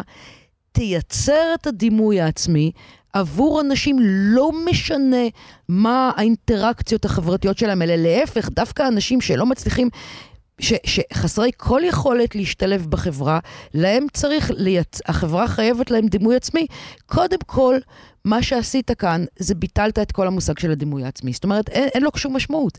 זאת אומרת, שאם אתה רוצה, זה כמו אה, בסימפסון שהיה, שברט קיבל אה, פעם אחת בחיים תעודת הצטיינות, כי זה היה יום חלוקת התעודות לכל אחד. זאת אומרת, אם... אם... האמת היא היום זה קיים בגנים, שיש מצטיין שבועי, וכל פעם בודקים שזה מצטיין שונה. זה לא כל פעם את אותו מצטיין. וזה לא קורה רק בגנים, סליחה, זה קורה גם בתיכונים. בסדר, אוקיי. בוא נראה ככה. אם בגנים... אתה בוחר הרבה מאוד פרמטרים. זאת אומרת, ז, אה, הילדה, יום אחד הילדה הזאת, מצט... ילדה אחת מצטיינת בזה שהייתה בנדיבות, וילד אחר מצטיין בספורט, או להפך, ילדה מצטיינת בספורט, ילד מצטיין באיזושהי תכונה. וכל פעם בוחרים תכונה אחרת וכל אחד מקבל תעודה, זה מצוין וזה בדיוק לא צדק צדק ש... אה, אה, ושוויון קוסמי. קוסמי. כן. למה? כי מצאו הרבה פרמטרים. עכשיו, אתה בטח לא... אה, אז אה, אתה בטח לא רוצה אה, אה, להחליט שבגן הזה יהיה רק פרמטר אחד. זאת אומרת, כל הילדים שווים בכל דבר אחר, ואז כאילו, או שכולם מקבלים אה, תעודות הצטיינות בלי שום קשר למעשים שלהם, ואז אין, אין שום חשיבות למעשים, אין שום חשיבות לערך, ואין שום חשיבות לתעודה, ואף אחד לא מתרגש מהתעודה הזאת. כי התעודה חסרת ערך וילדים מבינים את זה. אז או, או, ש, או, ש, אה, או שאתה מייצר היררכיות, זאת אומרת, אתה מאפשר היררכיות, זאת אומרת, היררכיות מסוימות, שאז יש ילד שיכול להצטיין בספורט, ויש ילד שיכול להצטיין בלימודים, וככה אתה מייצר את הדימוי העצמי שלך. כל, כלפי התרומה שלך לחברה, וזה יפה מאוד, וזה הולם וקוהרנטי, ואז אתה גם הולך וגודל ואתה מפתח את הדבר הזה ש, שאתה טוב בו. כי אם אתה... אה, אם אתה מוח, זאת אומרת, מלכתחילה אתה מקבל מחמאות מהסביבה, מה, איזה ילד חכם אתה. אז אה, מאוד קרוב לוודאי שאתה תפתח יותר ויותר את התכונה של החוכמה, ובסופו של דבר אתה תמציא את התרופה לסרטן. אבל אם אומרים לך שאתה, הכל בסדר, אתה, אתה, אתה צריך להיות, אה, אה, אתה צריך, אתה צריך להיות שלם לגמרי עם עצמך כמו שאתה. קודם כל זה טמטום מוחלט, אנחנו אף פעם לא צריכים להיות שלמים עם עצמנו כמו שאנחנו, ובטח לא בילדות שאנחנו שום דבר. למה שאני אתפתח או אצמח, אם, אם אומרים לי, עכשיו שאני חייבת להיות שלמה עם מה שאני, אני גם לא אוכל, כי זה, כי זה גם לא יעבוד. כי זה נגד הטבע האנושי בעצם להרגיש uh, מין אושר כזה בלי שום קשר לשום עשייה.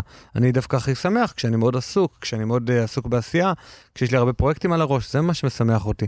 יכול גם הרבה אנשים אחרים, כשצריכים אותם, הם מאוד שמחים.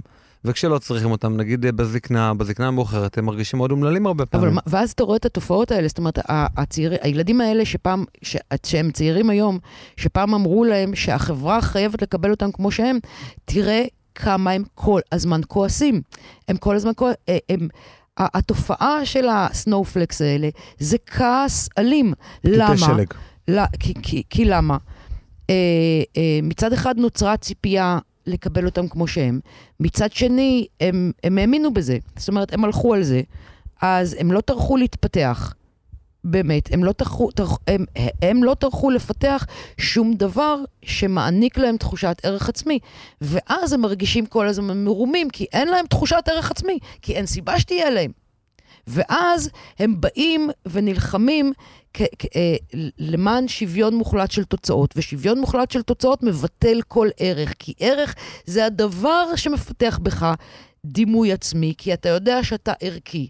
זאת אומרת, אני, אה, אתה, אתה ערכי בזה ש, שאתה יותר חכם מאחרים במתמטיקה, או שאתה מצייר יותר יפה. את זה לקחו מהם. אז עכשיו הם נלחמים נגד... אה, אה, כל, כל, ה, כל סוגי ההיררכיות, כי היררכיות מאיימות עליהם, מכיוון שנטלו מהם את תחושת הערך, אבל מה שהם לא מבינים, שאי אפשר לבטל היררכ, היררכיות, אפילו לא היררכיות של ערך, כי אם הם הולכים ומפגינים באלימות כנגד משהו שנתפס להם לא מוסרי, הם כבר יצרו היררכיה בין העליונות המוסרית שלהם לבין הנחיתות המוסרית של אלה שמפגינים נגדם. כך שמהיררכיות אי אפשר להיפטר ממילא, והם זועמים בעיקר על אלה שמבקשים להשאיר לכאורה היררכיות של ערך.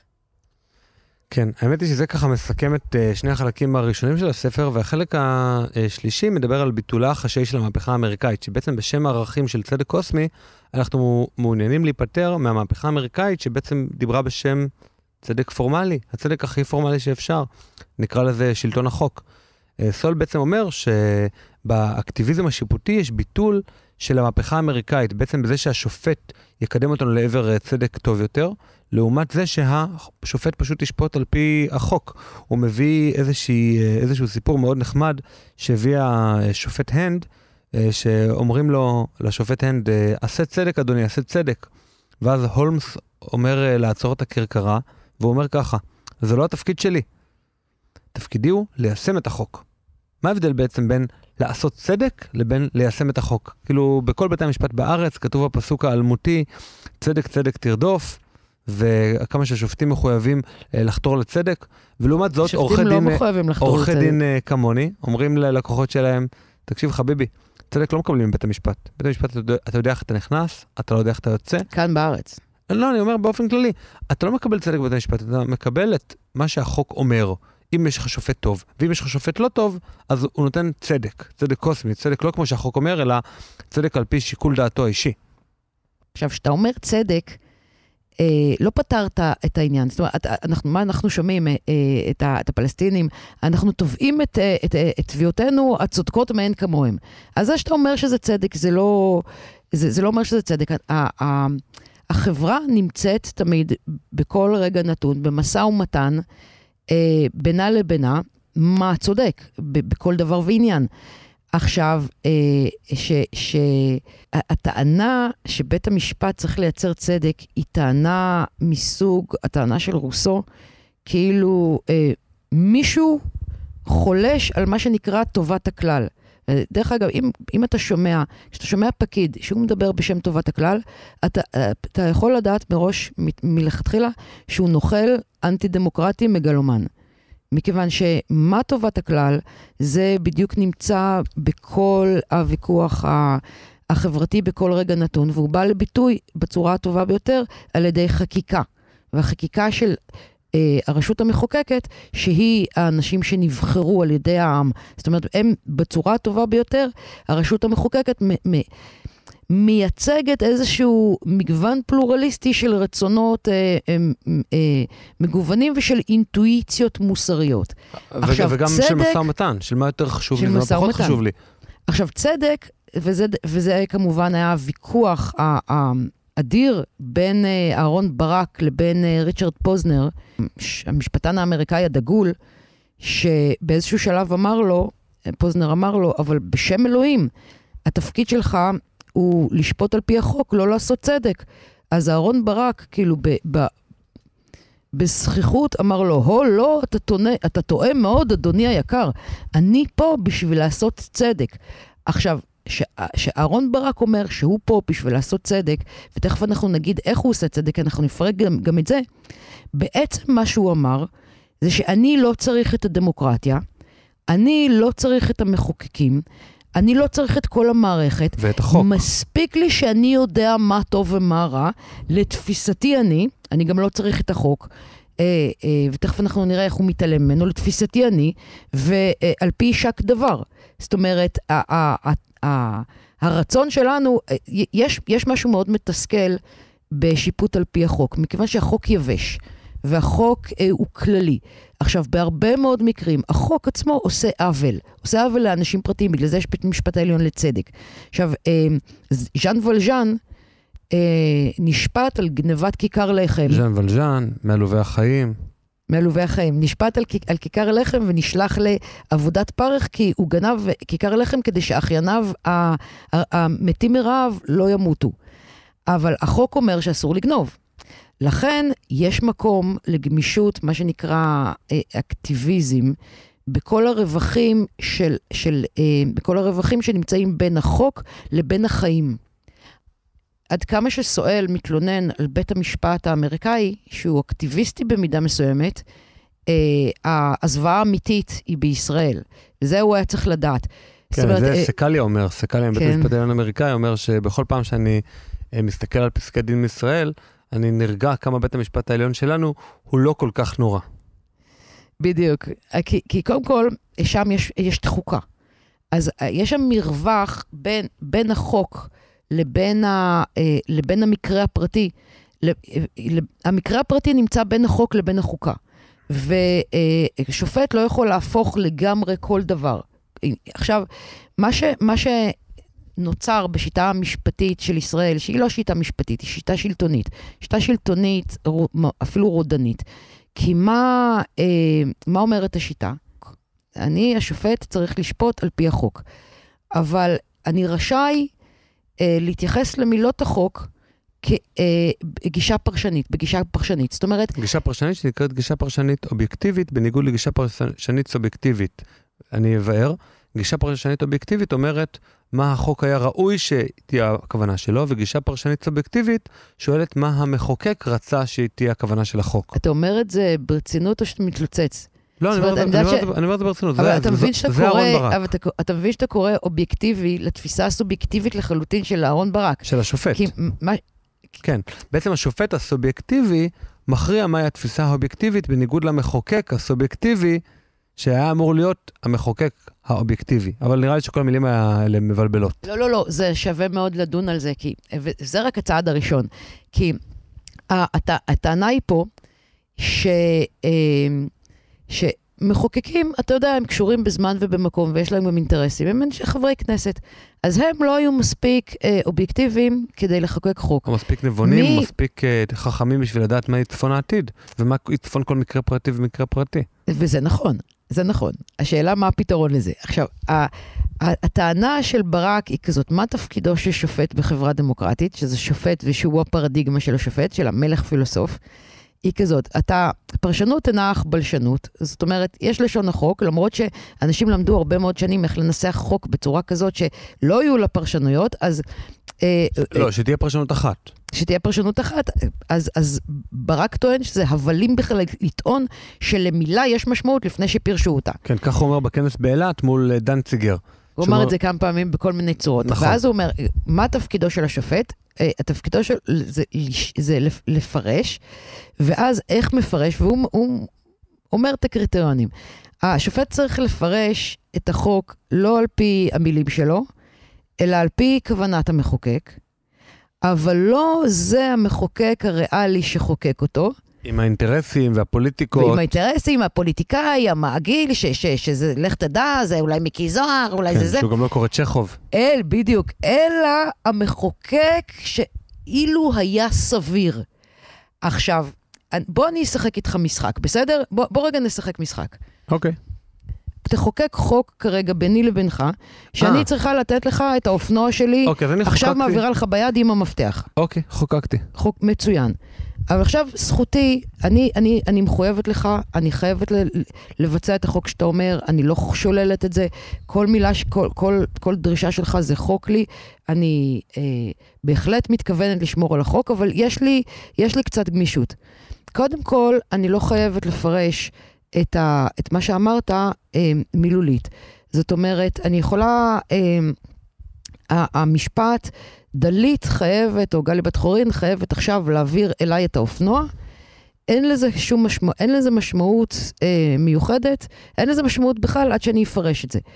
אז אה, אם אנחנו נעיין בפסוק שאומר חייבת להעביר לי, או אופנוע, כמו שפוגלמן מאוד אוהב לעשות, שבחוק שקובע שלשר הפנים, שר הפנים רשאי לשלול אזרחות, על פי שיקול רצונו, יושב פוגלמן, מצטט את, אה, את אה, ברק שאומר שפרשנות אינה אך בלשנות, ואז הוא פונה ואומר, "עס- עסקינן אתה בפסוק על פי שיקול דעתו. מה יכול לומר לנו הפסוק הזה? מה אנחנו מבינים? מה בעצם אומרים המילים האלה? שיקול דעתו הסביר. וככה עד על פני, עד לא הגענו לסביר אפילו. עכשיו אנחנו רק בפרשנות. עד שהוא המשיך כאילו לייגע את הקורא בפסק דין ארוך כ- כאורך הגלות, על מה אומר באמת המילה על פי אה, שיקול דעתו, יצא לו בסוף את הפסוק הבא. שר הפנים אינו רשאי לשלול אשרות אה, שהייה על פי אה, שיקול דעתו. זאת אומרת, בסופו של דבר עשינו מסע מאוד מאוד ארוך, שגילינו שדבר החוק היא ההפך מדבר החוק. הוספנו את המילה לא, אז גם לי מותר, זאת אומרת, מותר לי להוסיף עכשיו את המילה לא, אז מה שאני אגיד לך, זה שדלית לא חייבת לתת לך את האופנוע שלה. עכשיו בוא, בוא נלך על סבירות, ואם אנחנו כבר הולכים על סבירות, מה אומרת סבירות? מי מחליט מה הסבירות? כולנו רוצים סביר. תאמין לי, כולנו רוצים סביר. כולנו רוצים צדק. כולנו רוצים את האמת. כולנו רוצים את הצדק, האמת, האובייקטיביים. בדיוק את, את האובייקטיביות. אז עכשיו, לכן, אה, אני בתפקידי כ, כשופט כרגע, אה, מחליטה גם מהו סביר. זאת אומרת, ה- פתאום אני מחליטה גם, ה- ה- התפקיד שלי להחליט מהו סביר. זאת אומרת, ה- אתה חוקקת חוק, אמרת שאני צריכה לתת לך את האופנוע שלי, אבל אה, זה לא נראה סביר בעיניי. אז בזה נגמר העניין. זה, זה לא סביר. עכשיו, אני יכולה גם להסביר לך למה זה לא סביר. אני יכולה להסביר לך כל דבר למה הוא לא סביר. כי, אה, כי כמו שאם פוגלמן הצליח להוכיח שסביר בעיניו שהחוק שאומר שר החוץ, אה, שר, שר הפנים רשאי, הופך לשר הפנים לא רשאי, אז הסבירות היא, סוב, היא סובייקטיבית לשופט עצמו. מה שאני מבין כאן מכל הדבר הזה, זה בעצם אה, הנקודה שסואל אומר, ברגע שאתה מתרחק מהשופט אמור לפרש את החוק, או ליישם את החוק, ולא להביא לצדק, לכיוון שהוא קצת יותר צדק, אתה עלול להגיע בעצם למדרון מאוד חלקלק, שבעצם השופט לאט לאט הופך להיות הרודן. הלוואי הופך- וזה מדרון חלקלק, זה, זה מלכתחילה, מעצם השיטה, זה אבל, רודנות. אבל, אבל גאון פוליטי, פר. כמו, גאון, גאון פוליטי כמו ברק, יכול בעצם להיד, אה, להידרדר טיפ-טיפה, או טיפ-טיפה ללכת לכיוון של יותר, יותר צדק, ועדיין לא להכעיס את כולם. אבל היורשים שלו, שהם קצת פחות חכמים, קצת פחות פוליטיקאים, מגיעים למקומות של אבסורד, ובאמת, לכן בשנים האחרונות יש הרבה יותר כעס על בית משפט עליון, מאשר בשנים שברק היה בראש בית משפט עליון, שאז כולם הכירו בגאונות המיוחדת שלו, שהוא אחד בדור, ובעצם כשאנשים מקבלים כלים מאוד חזקים שהוריש להם אחד בדור, והם אנשים לא כל כך חכמים, הם אמנם מאוד מאוד חכמים, אבל הם לא גאונים כמו ברק, הם מכעיסים את כולם, ובעצם גורמים לאמון בבית משפט עליון לרדת יותר ויותר. אוקיי. אה, אני חולקת עליך כמובן, כאילו לא בעניין האיכות של בג- אלא בעניין גאונותו של ברק. השאלה איפה, איפה היא נמצאת. שזאת לא, לפי השיטה שברק המציא, הגאונות היא לא הייתה גאונות משפטית ובטח לא גאונות הומנית, היא הייתה הגאונות שלו לדעת אה, לחולל באמצעות מילים אה, אה, מערכת חוק שתכוות ישירות אליו ובשליטתו. תכף אנחנו נדבר על עוד דברים שבשליטתו. אה, אה, אבל אה, מה מה שברק, הגאונות של ברק היא מנהיגות. אה, הוא ידע להטיל חתיתו על אנשים. אה, זאת אומרת, הוא ידע לייצר את, ה, את ההילה הזאת סביבו של ההערצה. הציות דרך אגב מה. שלביבי חסר מאוד. ולכן הוא הולך להיות מנהיג. אני מניחה שמפלגת כחול לבן היא בהנהגת אה, האיש הזה. אבל, אה, אה, ואז אה, נלך הלאה. אני חושבת שחיסלנו את כל שלטון החוק ברגע שאפשרנו את העניין של הפרשנות, שהוא קיים גם בארצות הברית במידה מסוימת. אבל בארצות הברית כמובן יש את המחסום של החוקה, זאת אומרת, אתה לא יכול לפר, לפר, לפרש מעבר לחוקה. גם לישראל יש חוקה, אבל יסודית, ולא אמרו לנו, והשופטים שופטים לפי החוקה שהם עצמם ניסחו, זאת אומרת שכאן יש לך עוד, עוד שריון של uh, ההיתר לסובייקטיבית שרירותית באופן מוחלטת לפי הכוונה של השופט. הלאה. כן, ו- וההוכחה לזה זה שיש עכשיו דיון בהרכב מורחב, האם חוק יסוד הלאום הוא חוקתי. איך חוק יסוד שהוא חלק מהחוקה יכול להיות לא חוקתי. מעניין. איך התרחקנו מ- מ- בכלל מקיומו של, אה, של שלטון חוק? יש לך מצד אחד את, ה, את החירות המוחלטת בעצם לפרש את לשון החוק כמו שאתה רוצה, זאת אומרת אין חוק. אם, אם, אם, אם כן ולא, זה אותו דבר מבחינת אה, הרצון הס, של, של סבירות של השופט, אז יש רק את מה שסביר בעיני השופט. אבל פה עדיין כאילו אין שלטון, יש כאן בית משפט. השלב הבא זה ביטול, ביטול מוחלט של זכות העמידה. זאת אומרת, הבסיס שאפילו שדה טוקוויל טבע, על טווח אה, העיסוק של בית המשפט, בית המשפט לא מתעסק אלא בסכסוכים שהפנו אליו, ובתנאי שהנפגע הוא זה שתובע. פה בבית המשפט, מה שלנפגע יש נזק אישי שמובחן מכל אחד אחר. ברגע שזה נזק לציבור, אז הציבור יש לו כלי שנקרא כלי הפוליטי כדי להתמודד עם נזק שקרה לו. ועכשיו מה שקורה בבית משפט זה שהלכה למעשה, את- את- הלכה למעשה יכול שופט, ברגע שהוא רוצה לשנות איזושהי חקיקה במדינה, להזמין לעצמו עותר שכזה או אחר, להגיד לו מה העתירה, העותר הזה לא צריך להיות פגוע, הוא לא צריך אפילו, אה, הוא יכול באופן כללי לדבר בשם אוכלוסייה פגועה, בדרך כלל זה פלסטינים או כל מיני, או, או דבר כזה. ואז אה, השופט מזמין את העתירה, וככה השופט מתערב בחקיקה. אז אה, השופט הוא גם המחוקק. ומעבר לזה, דיברנו כבר על הכל שפיט, אה, אה, אין שום טווח שבו לבית המשפט אה, אין, ר- הוא לא רשאי להתערב. כלומר, הנושאים מבחינת שפיטות הם כל נושא בעולם, גם נושאים של אה, חוץ וביטחון, יחסים עם מדינה אחרת, אה, פעול- כלכליים, פעולות- חוזים, פעולות צה"ל, הכל.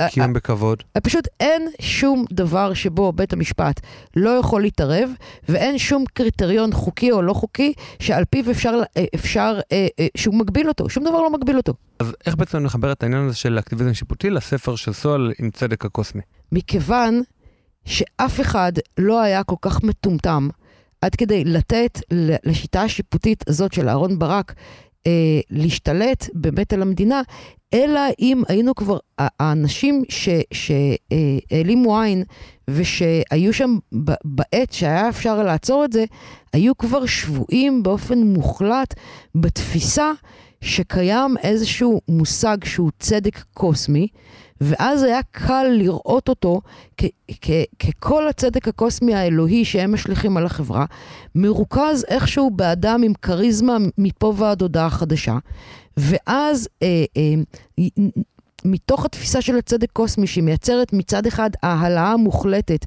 של מושג החברה, ומצד שני בוז, שנאה מוחלטת לחברה, שזה אותו דבר, מכיוון, ש... או, או, או התחושה שאתה כל יכול, שאתה יכול להשפיע על החברה בהכל, אה, התנקזה אה, לתוך דמות של אדם אחד שהופיע שם עם כריזמה מטורפת, ושהצליח לשכנע את האנשים האלה שכל מה שקשור לחברה, האלוהות של החברה, כל יכולות של החברה, העובדה שאפשר לשנות את החברה, אה, אה. לחלוטין בעזרת אדם, התנקזה לכריזמה של אהרון ברק, וזה מה שאפשר את ה... בעצם הרצון הזה בעוד חופש, ביותר חופש, ביותר דיוק של סבירות, בניסיון לחסל את, אה, את, את הבעיה שהמחוקק הוא, הוא אדם והוא לא מושלם. אז תלו את, תלו את כל הציפיות האלה מהחברה, הציפיות האוטופיות הלא, הלא הדתיות, על אדם אחד, ונתנו לו לנהל את זה, כי הוא היה מוכן לקחת את זה. והתוצאה היא חוסר צדק קוסמי. אז האמת היא ככה, מי שרוצה להבין את זה מהכלל אל הפרט, ולא מהפרט אל הכלל, כמו שעשינו את זה קצת בשיחה הזאת, באמת מאוד מומלץ לקרוא את המרדף אחר צדק קוסמי של תומאס סואל, במיוחד את החלק האחרון, שזה ביטולה של המהפכה האמריקאית, שאני אישית הכי נהניתי ממנו. ותודה רבה. תודה רבה, ובאמת כן, מאוד רצו לקרוא את הספר הזה. פודקאסט על המשמעות מוקלט, נערך ומתוחזק על ידי צוות מתנדבים. אבל יש לנו עלויות. אנחנו צריכים את עזרתכם כדי להמשיך לשלוח לכם מדי שבוע את פרקי הפודקאסט. כנסו לקישור המופיע בתיאור הפרק ועזרו לנו להמשיך להביא לכם את התוכן שאתם אוהבים.